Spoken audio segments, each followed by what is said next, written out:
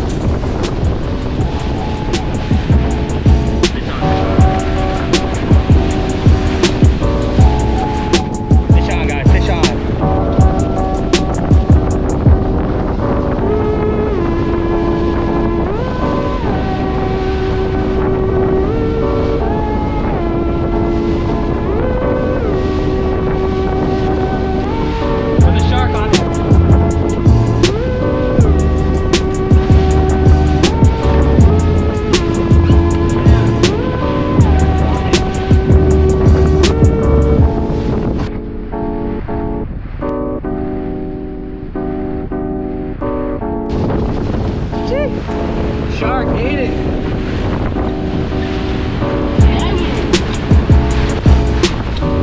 Shark bit the back out.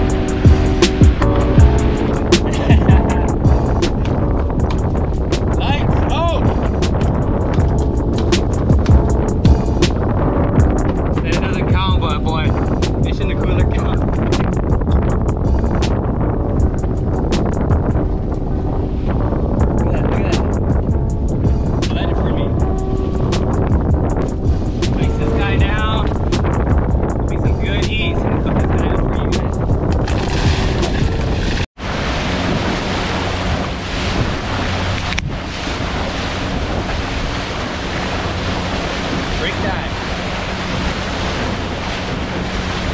Oh yeah.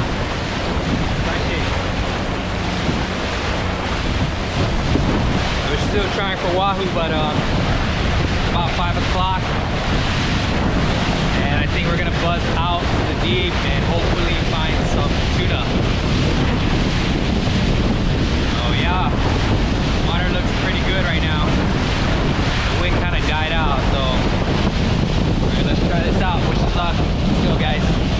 What do you get?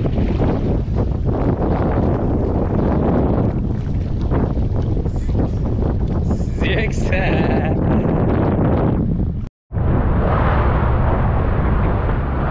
Alright guys, we're on some tuna. We got one so far. Um, choppy out here. Found the school with these boys here, and there's a huge ship right behind us. Probably trolling too. Check this out, right behind us.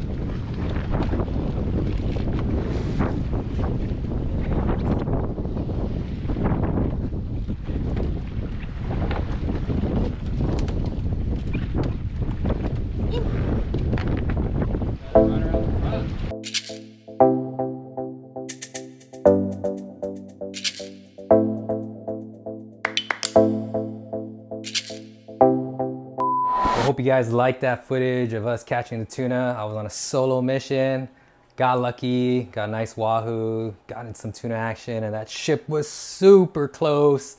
Luckily, everything was safe. I made it back in, and I got some fresh fish for you guys to cook up. So we got a nice piece of wahoo that we caught yesterday.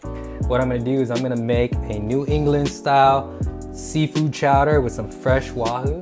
We got some mussels, some crabs, some shrimp. And what I did is my fam- family and I, we had a nice dinner the other week where we made a nice crab boil. We had some, so much broth in that pot. So what I did was I didn't want to waste that broth and I saved it just for this chowder. So I'm gonna add that to the pot. We also have our ingredients laid out right here, our mise en place. What we do is we got our mirepoix, which will we start with our mirepoix. It's celery, onion, and carrot, very basic. And then of course we have our potatoes. We got some mussels that we saved from the last last week, and we got some nice broth and clams, and then of course our fresh wahoo. I'll show you guys how we do this right now.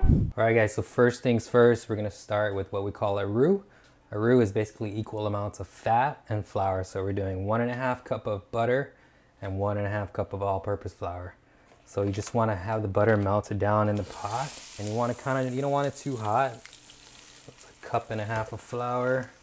And the goal here is to get like a blonde roux.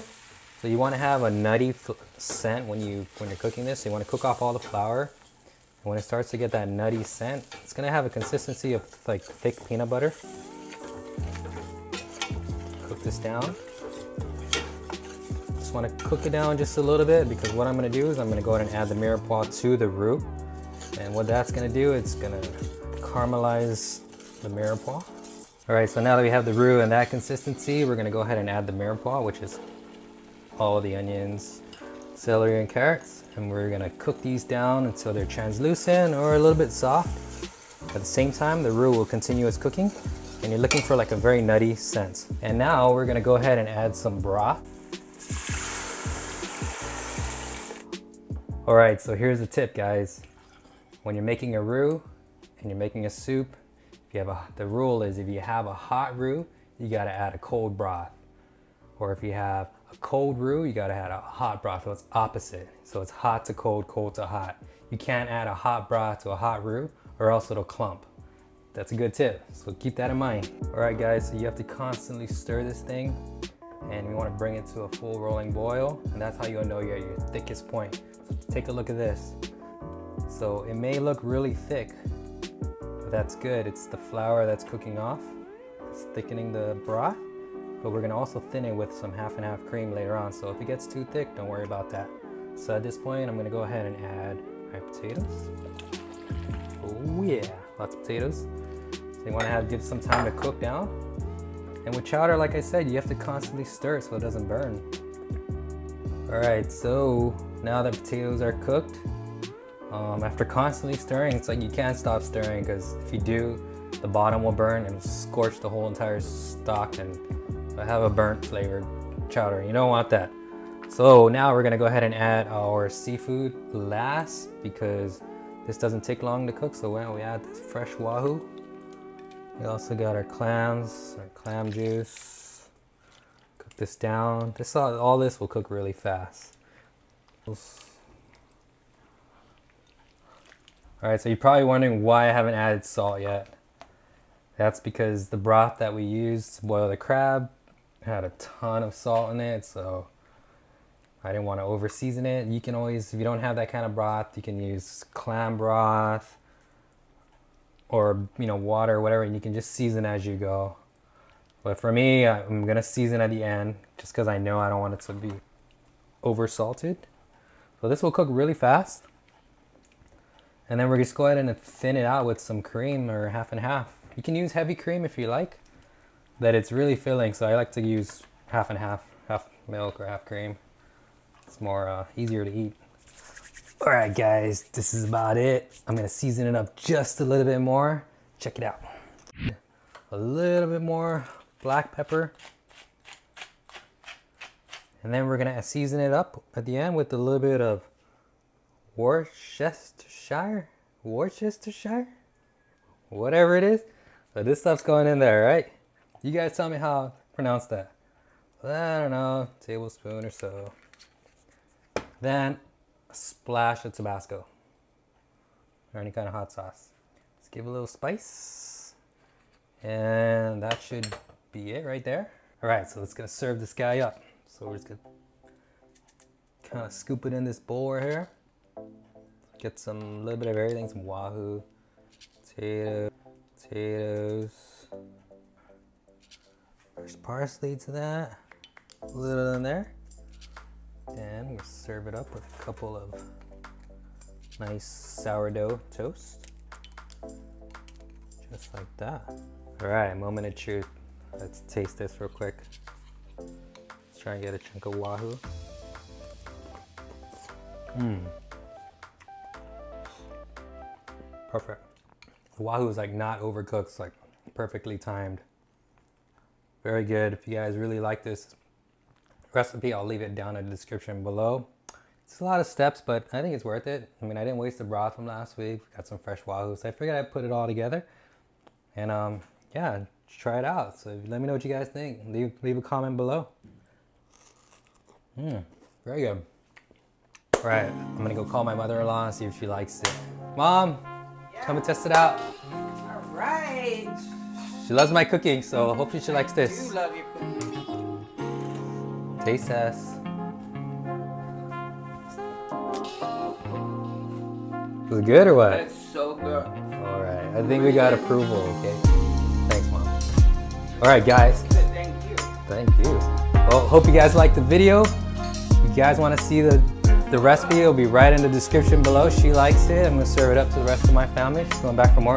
Got some sourdough bread while you're there. All right, thanks. Don't forget to like and subscribe. See you guys on the next one.